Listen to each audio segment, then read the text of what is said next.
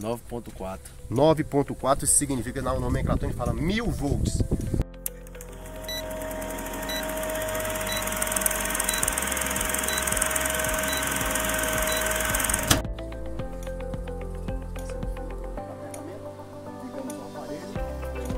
Demonstração.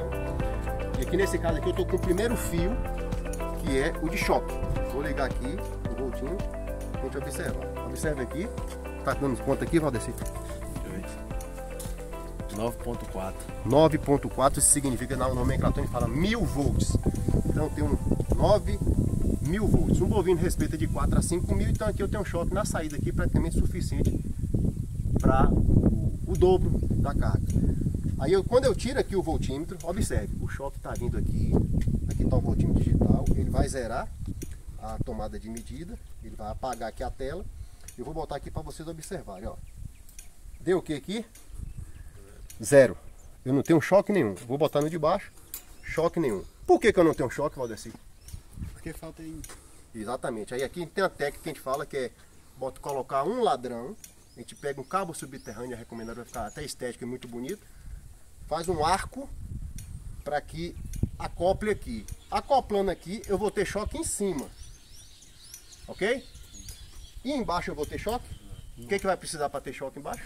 Outro ladrão. Outro ladrão, exatamente. Eu faço aqui nesse caso aqui, como eu não tenho morão para ter perigo de encostar, eu posso fazer com o próprio arame Electrix.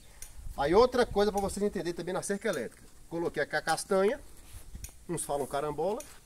Aí eu vou testar aqui para ver se tem choque. Tem choque aqui? Não. Zero. Tá isolado. Eu tenho choque aqui?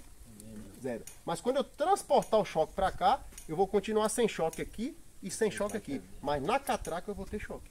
Que daqui a pouco a gente vai fazer essa dinâmica. Cara tá, tá tendo contato com o arame. Com arame. Eu enrolei aqui no cilindrozinho. O arame elétrico vai estar com choque. Por exemplo, se o produtor quiser que seja um setor único, que quer trabalhar independente, ou seja, o aparelho está bem longe, aqui pode botar chave de setor também. Pega aquela chave de setor lá para mim, Gel, por favor, cuidado com o choque. Vou mostrar para vocês como é que fica. Aí eu estou vindo com choque, atrás da chave, isso. A chave de setor. Tem, este é um dos modelos. Aqui com a furadeira eu vou furar. Eu acoplo aqui, né? Essa chave de setor. O que, que vai acontecer? Ela vai estar fixa. Eu tiro aqui as borboletas. Vocês estão vendo aqui? Hum. A copleira aqui. Venho aqui com o arame que está eletrificado, desligo o aparelho. Laço aqui, ou em cima, tanto faz. E acoplo aqui outro cabo subterrâneo e venho um laço aqui. Quem foi que falou? Lucas? Ó, Lucas. Chave fechada, joguei choque. Chave aberta. O choque só vai até aí. Isso a gente chama setorizar o, o sistema. Abrir, não tem choque. Fechei, tem choque. Ou seja, o ladrão, em vez de ir para lá, ele vem para a chave e da chave vem para cá. Corta. Exatamente, para você cortar. Aí aqui também, se fosse uma outra, outro ramal para piquetes lá no fundo da fazenda, eu posso ter uma chave aqui também, que eu levo para lá. Não tá usando lá? Isso, e Desliga. dentro, dentro do próprio setor, dentro do próprio da área de piquete do rotacionado, eu faço mais chave de setor para me setorizar.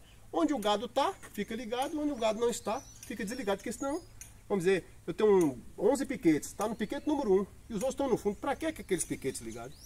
Não tem necessidade disso aí. Você pega todo o choque e coloca naquele único piquete. Aí chega um tempo que o gado não vai ter medo, né? ele vai ter pavor da cerca elétrica. Tá bom? Então aqui são algumas etapas iniciais aqui para vocês entendam como é que monta a cerca elétrica na técnica.